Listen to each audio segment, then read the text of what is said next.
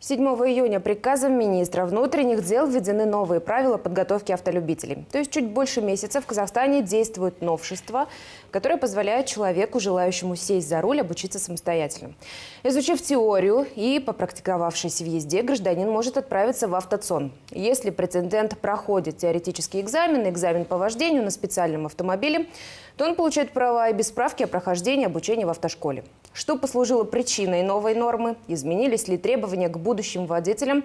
И, конечно, что происходит на рынке частных автошкол? Вот об этом мы сегодня и будем говорить. И со мной в студии начальник управления Комитета административной полиции МВД Мурат Иманбаев. Здравствуйте, Мурат. Здравствуйте. Владелец автошколы АМГ, преподаватель специальных дисциплин Астана ЛРТ Ярмек Жунисов. Добрый день и эксперт Департамента логистики и перевозок Палаты предпринимателей Атамикен Мурат Амрин. Чуть позднее по скайпу из Алматы к нам присоединится председатель независимого автомобильного союза Эдуард Эдоков. Добрый день, гости. Ну что ж, у меня первый вопрос, конечно, к владельцу автошколы. Скажите, пожалуйста, действительно автошколы сейчас становятся невостребованными? Ну, по крайней мере, в средствах массовой информации очень много новостей о том, что школы, автошколы закрываются. Так ли это? На самом деле, я не знаю, как в других школах, но в частности в нашей школе действительно стало меньше людей, потому что, ну, знаете, сейчас так получается, не все люди э, услышали это новый закон. Возможно, это тоже. Ну, по инерции некоторые иду, люди идут сами по себе, потому что кому-то это надо, а те, которые считают, это мне не надо, я пойду сам могу сдавать, ну, может быть. Ну вот если четко, да, э, по количеству наверняка вы отслеживаете, то есть было вот посещение там 30 в месяц, а сейчас стало 15, там спад на 50%. Да, Можно такую статистику? Да, вот 15 год, допустим, 14 год, вот июнь месяц э, значительно меньше стало. Если вот за полгода мы набирали около 15, например, групп, да? А сейчас уже где-то 8, где-то отдел 9 групп. Видите? И наверняка люди еще не знают о том, что они могут, в принципе, самостоятельно обучаться, но поэтому по инерции к вам пока идут. Наверное, да. Но хотя есть люди, которые идут, уже имея права водительское. Ну, потому что, ну, это, скорее всего, после попадания в ДТП или какой-то страх у них есть. Ну, такие люди, но их мало. Вы знаете, мы сегодня запустили опрос пользователей в сети Facebook и задали такой вопрос. Нужны ли в Казахстане автошколы? А, три варианта ответа. Да, конечно, нужно проходить обучение в автошколе. Считаю, что можно учиться самостоятельно и сдавать экзамены в автоцоне. И нет, зачем все равно все, все покупают права. Вот это голосование еще идет, продолжается, и в конце программы мы узнаем с вами результаты. Я думаю, они будут интересными. Но я также, Мурат, я к вам хочу обратиться, к представителю Палаты предпринимателей Атамикен. Я знаю, что к вам сегодня уже поступают обращения э, владельцев автошкол с тем, чтобы вы обратили внимание на эту проблему. Так ли это? Да, в Национальную палату предпринимателей Атамикин поступает коллективное обращение от предпринимателей, также индивидуальные э, частные компании, которые оказывают услуги по обучению водителей. Э, вопросов очень много касательно вот самоподготовки. Э, поступают они, э, как сказать, в неделю, могут даже один, как одно обращение поступать. Э, и компании, они как бы против данной нормы ведения самоподготовки.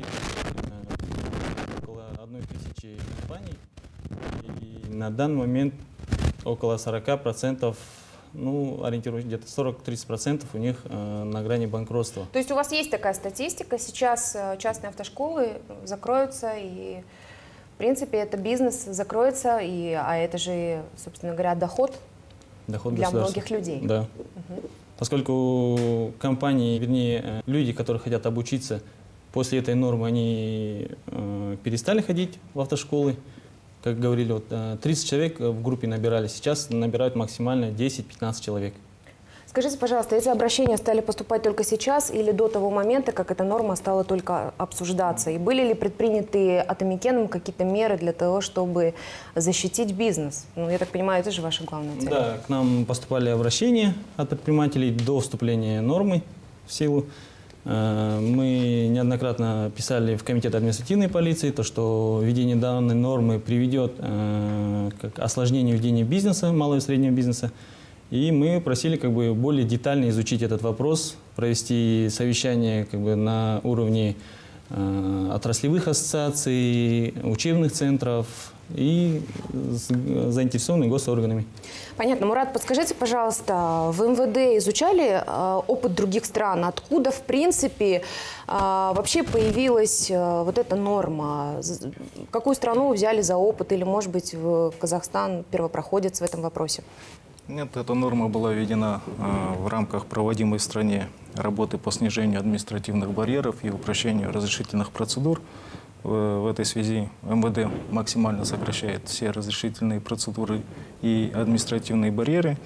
Э, их очень много. Ну, Вот одно из самых такой, таких обсуждаемых, которое затронуло все слои населения, это вот самоподготовка. Но многие тоже не обращают внимания, что этими положительно еще в этом, этим же приказом утверждена положительная норма, которая позволяет всем гражданам республики получать водительское удостоверение независимо от места регистрации, то есть в любом ЦОНе. Ну, дословно, житель Астаны может получить водительское удостоверение в Алмате и Мурат, так далее. смотрите, а, это все понятно. Административные барьеры, у нас их много в государственных органах, но тут вопрос достаточно щепетильный, правильно? Эта система, она достаточно давно работает. У нас были в советское время ДОСАФы, которые обучали. У нас в школах детей обучали, 10-11 класс, 9-10, они получали права. Сейчас получается, ну, понятно, век интернета. Мы все сами самостоятельно обучаемся даже не только, но и в вузах проходим дистанционное обучение. Но тем не менее, видите, дорога – это вопрос безопасности наших граждан, правильно? А, то есть вот чем вы руководствовались все-таки? Хочу обратить внимание, что ранее тоже э, в приказе МВД существовал, существовала норма, касающаяся самостоятельной подготовки. Эта норма просто была возрождена. Но там с оговоркой эта норма, конечно, существовала. Она э, распространялась на граждан, проживающих в удаленных районах и так далее, чтобы не создавать им дополнительные барьеры. То есть э, по, возвращаясь к тому, что говорилось, изучался ли опыт зарубежных стран, да, изучался. Ну, вот, допустим, Швейцарии, Швеции, Турции, Австралии, США, э, индивидуальная подготовка и сдача те- теоретического и практического экзамена предусмотрена на все категории транспортных средств. Мы здесь не стали распространять эту норму на все категории, потому что понимаем, мы делим водителей на любителей, водителей на, на водителей профессионалов. В связи с этим мы посчитали, что достаточно будет ограничиться только водителями-любителями. Ну, другие страны тоже можно приводить пример. Я понимаю, что многие слои населения э, за- затронуло, в принципе, и бизнес. Ну, То есть, получается, мы, убираем одно, но э, дело в том, что мы же последнее время очень большие акценты делаем на развитие малого и среднего бизнеса, правильно? И тут мы, когда период кризиса, да, мы берем и закрываем какую-то часть. Но Я хотел бы отметить, что на- все процедурно предусмотренные э, требования этот приказ прошел. На публичном обсуждении мы его разместили на сайте. Э, учли все замечания э, населения, в том числе направляли на согласование заинтересованные госорганы и в том числе в Национальную палату Атамикен. Мурат, вот у нас есть статистика по дорожно-транспортным происшествиям. А, Я прошу зрителям показать ее за последние пять лет. Ну, в принципе, наблюдается снижение по зарегистрированным, конечно, по количеству пострадавших, по количеству погибших. Не могу сказать, что это особо сильный, э, сильный процент снижения, но тем не менее. Но если мы возьмем, например, хотя бы 4 месяца 2016 года и 4 месяца 2015 года, мы вот увидим, в принципе, что произошло зарегистрировано, точнее, правильно да, сказать, 5139 это в 2015 году и 5038 это в 2016 году. Ну, как бы не особо большая разница. Из них а, 90 человек в 2015 году погибли и в 2016 94 человека погибли. Я бы хотела подключить к нашему разговору Эдуарда Эдукова, который находится с нами на скайп-связи из Алматы. Эдуард, вы знаете, есть э, такое мнение о том, что ситуация на дорогах у нас ухудшится, если мы начнем выдавать, точнее, мы уже начали выдавать права в обход автошкол. Как вы считаете? А Вы знаете, вот э, смотря сейчас на дороги нашей страны, когда фактически еще действовали все старые правила, и автошколы учили курсантов, а, мы с вами можем легко заметить, что уровень, э, скажем, такой правовой дисциплины, он крайне низок. Возьмите хоть э, наш город Алматы, возьмите Астану, я уж не говорю про Южный Казахстан, где э, всегда говорят, что там своя жизнь, свои правила. И вот смотрите, учитывая, что сейчас учили в автошколах, и такой уровень соблюдения правовой культуры и соблюдения правил дорожного движения, то представьте, что же будет, если мы даже учить не будем. И э, сравнивать с опытом Швеции да, или Швейцарии, это ну, э, э немножко, скажем так, со, со стороны МВД ну, некорректно. Да. Посмотрите уровень ДТП и уровень погибших э, в Швейцарии или Швеции. И сравните с Казахстаном, который чуть ли не первую десятку входит стран, э, где люди гибнут, и где э, совершается количество ДТП огромное просто. И вот чтобы было немножко более понятно, я такую аналогию хотел бы провести. Вот представьте, что э, э мы сейчас находимся на уровне э, вот по правовой дисциплине, по соблюдению тех же правил, да, на уровне школьников там, средних классов, 3-5 класса. И вот представьте, вы приходите 1 сентября, и Марья Ивановна, преподаватель, говорит, ребята, вот вам учебники, в учебниках вопросы, 25 мая я жду вас на экзамен. И вот представьте, да, вот эти школьники, трех, пяти, пятиклассники, да, они будут учить, они будут заниматься все, весь этот год. Или они придут в автоцон и там столкнутся с тем, что нужно будет как-то решать эту проблему. Понимаете, в чем дело?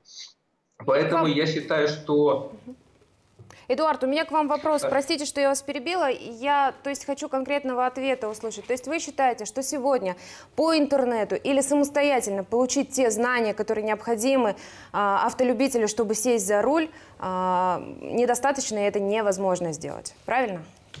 А, я считаю, что не совсем так. А, можно получить какие-то теоретические навыки, да, то есть выучить те же правила дорожного движения с помощью интернета, с помощью компьютерной программы, а, выучить тесты, сдать вопросы, но в первую очередь а, знание инструктора автошколы, его практический опыт, его ничем нельзя, то есть вы его не выучите по интернету первое, а практическое вождение так однозначно никаким образом э, вот в наших условиях, я думаю, что э, невозможно выучить, я не знаю, на, на компьютерной игре Need for Speed.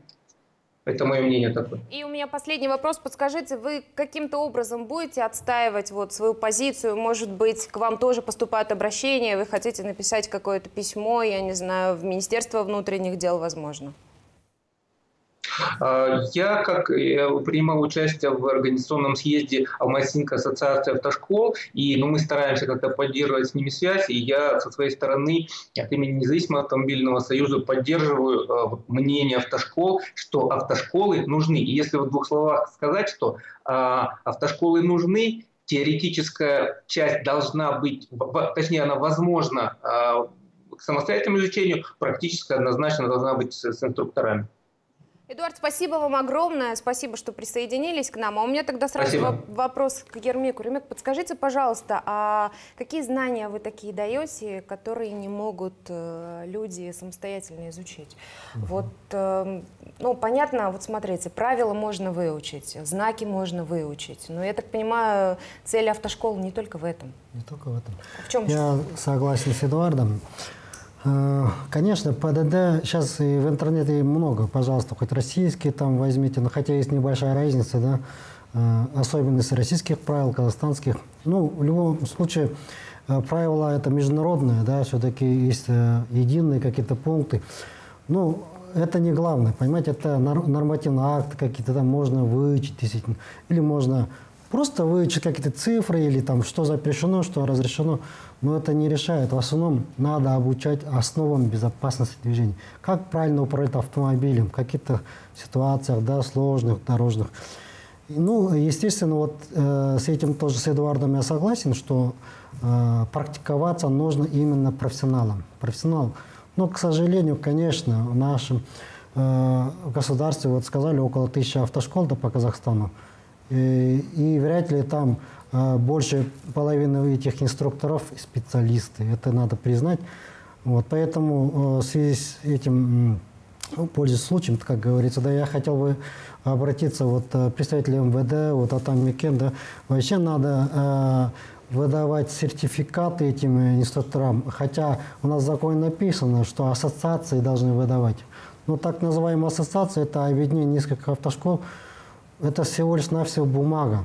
Бумага все стерпит, да, можно написать, печать поставить, но а кто их знания будет проверять? Поэтому Э, я, э, основная моя работа не заключается в автошколе, я работаю в Центре квалификации работников транспорта да, города Астаны.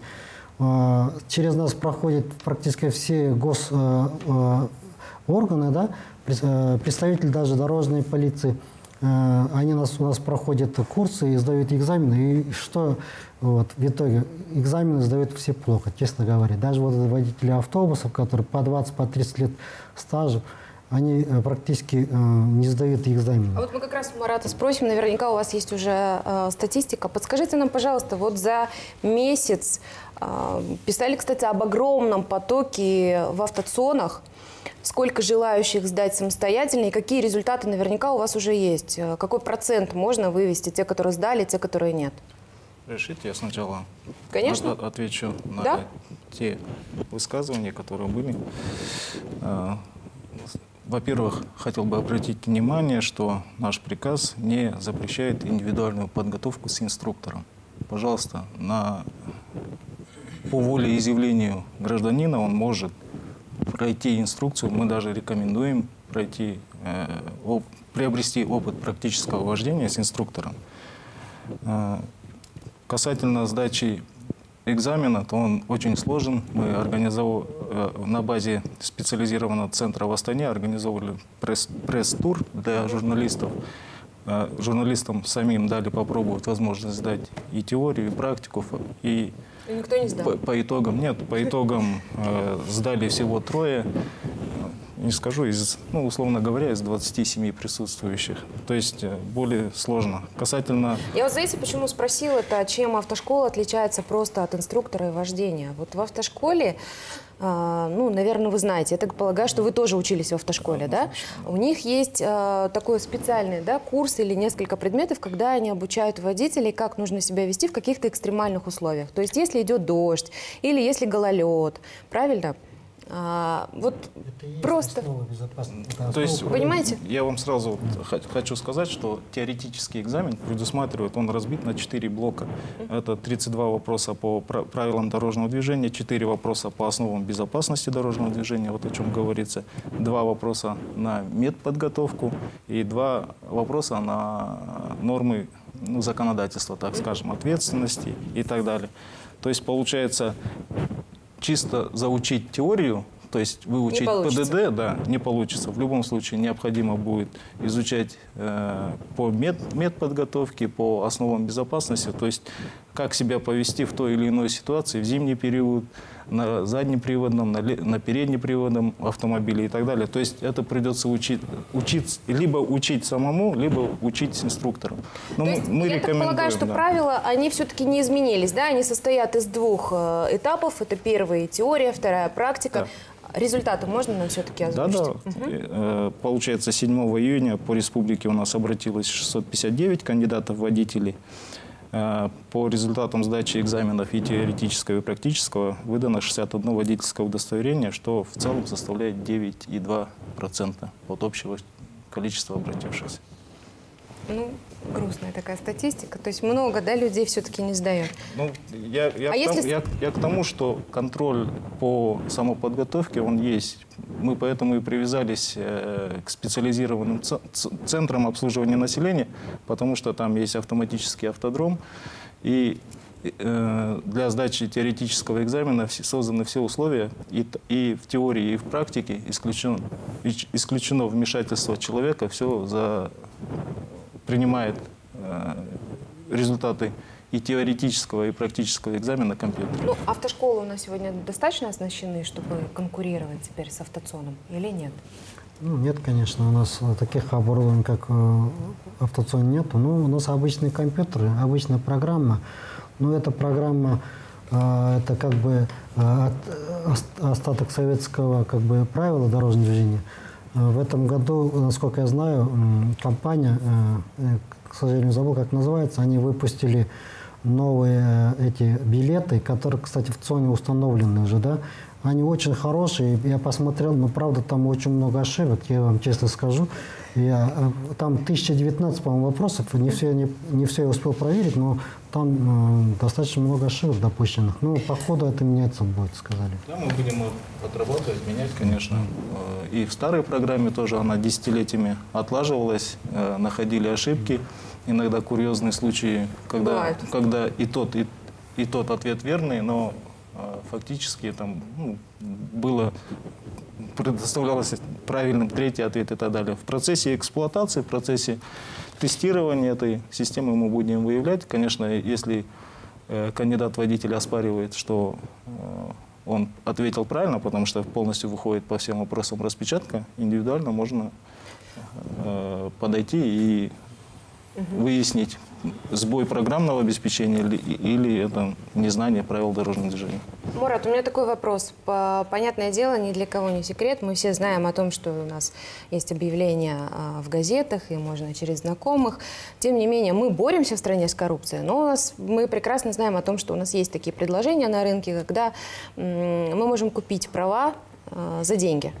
Скажите, пожалуйста, вот, э, вот эта норма, она каким-то образом будет минимизировать коррупцию или нет? Ну, То есть есть какая-то гарантия того, что, ну, то есть в любом случае сейчас, ладно, хоть в автошколе, кто-то даже, знаете, права покупал, но тем не менее, я так полагаю, в автошколу все равно шел на три месяца, понимал, не понимал, научился и, наверное, что-то там в голове откладывалось. Сейчас даже это необходимо, ну, не нужно. Многие, вот у меня сегодня кто-то говорит из коллег, говорит, да, там вот два дня, 90 тысяч тенге, и, собственно говоря, садись, и ты автолюбитель. сейчас?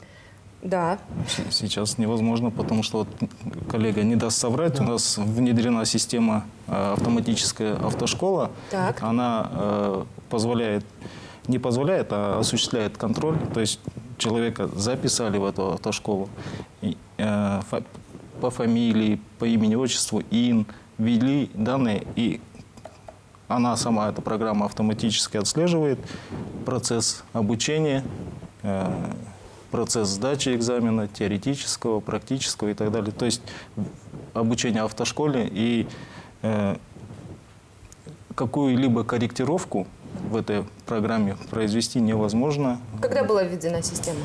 Она работает уже с 2014 года. ну. То есть, правда, года. жестко? Да. Хорошо.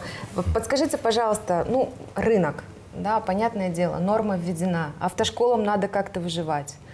А, Что у вас сейчас? Скидки, может быть? эм, Я так полагаю, все равно же э, это не... э, Человек все равно может пойти в автошколу, обучиться. Для него это даже... Он быстрее сдаст в этот экзамен. Потому что, насколько я понимаю, у него всего лишь три попытки, да? И если он не сдает, то через полгода только. Правильно? Да, мы этим приказом предусмотрели три попытки на сдачу экзаменов, подчеркиваю, и теоретического и практического. Если он не сдает, то на полгода не допускается к дальнейшей сдаче экзаменов. Мгм. Вот как э, автошколы сейчас будут вливаться в эти новые условия? Точнее, вы уже влились, но вам как-то подстроиться придется. Ну, мы велились, но я, честно говоря, особо только изменений пока не вижу, потому что времени пока мало прошло, да.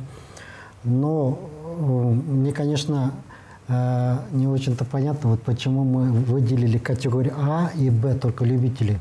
На дороге все должны быть, мне кажется, профессионалами. Все должны водители быть э, как бы под этим названием водитель, да. Ну, не будем повторяться, конечно, много зависит от инструктора. Практически часть кому-то, наверное, дается, кому-то не дается, но э, то есть имеется в виду теоретически часть. А практически часть, конечно, это действительно нужно обучать профессионально. А что касается э, снизилась ли оплата, у нас наоборот, наоборот, мы подняли цены. Э, Ну, для чего?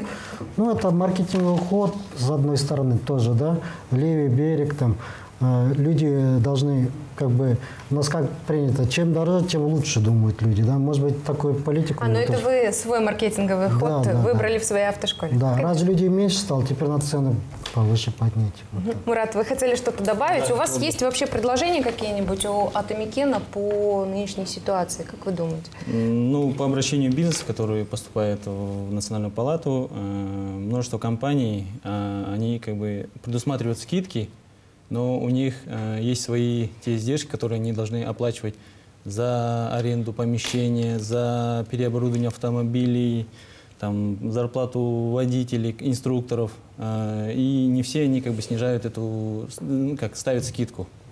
Потому что очень большие затраты, и они до этой нормы э, приобретали кредиты. И не все э, сейчас как бы дают скидки.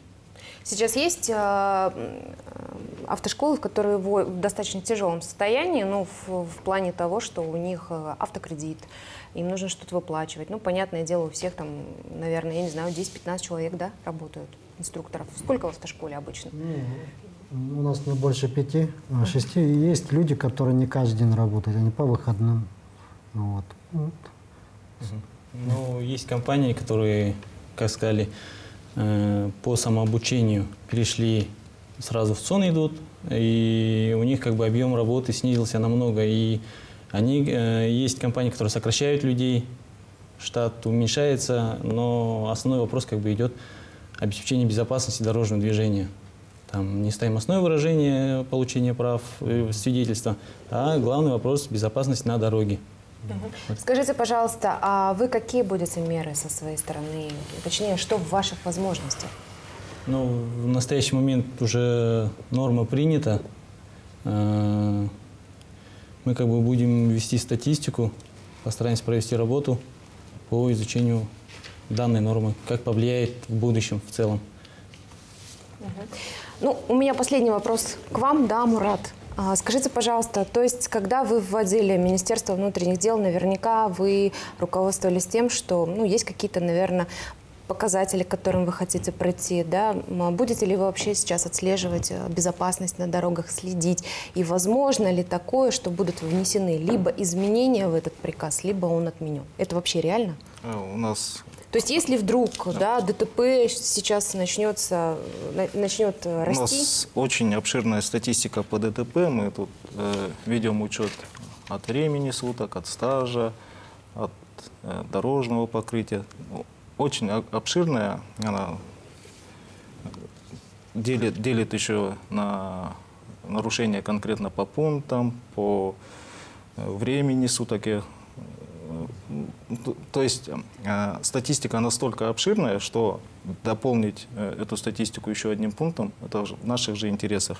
Тем более у нас ведется такая статистика, у нас э, допущено ДТП по вине водителей со стажем управления до одного года и со стажем управления до трех лет. То есть мы эти пункты доп- дополним э, по самоподготовке. Это однозначно понятно, то есть вы будете отслеживать, ситуацию. Да, конечно, мы, мы сами заинтересованы в этом, мы будем отслеживать. По результатам анализа, естественно, будем делать выводы, ну, естественно, с привлечением и Экспертов. экспертов, и Атамекен обязательно. Мгм. Ну, давайте, наверное, озвучим теперь э, результаты нашего опроса. Я напомню, что сегодня в Фейсбуке мы спрашивали у пользователей, нужны ли в Казахстане автошколы. А, Задали три вопроса. Да, конечно, нужно проходить обучение в автошколе. И я вам скажу, что проголосовало 67% пользователей, то есть наши граждане бдительнее за безопасность на дорогах. Считаю, что можно учиться самостоятельно и сдавать экзамены в автоцоне 19%. И нет, зачем, все равно все покупают права, 15% наименьший показатель. Наверное, ваша система, Мурат, работает. Ну вот, а, это была программа «Рынки». Я напомню, мы сегодня говорили о новой норме, которая действует уже месяц, которая позволяет а, не ходить в автошколу, а сдавать экзамен самостоятельно, готовиться и сдавать экзамен самостоятельно в автоцоне. Я спа- благодарю гостей. Спасибо, что вы пришли. Увидимся в эфире. До свидания.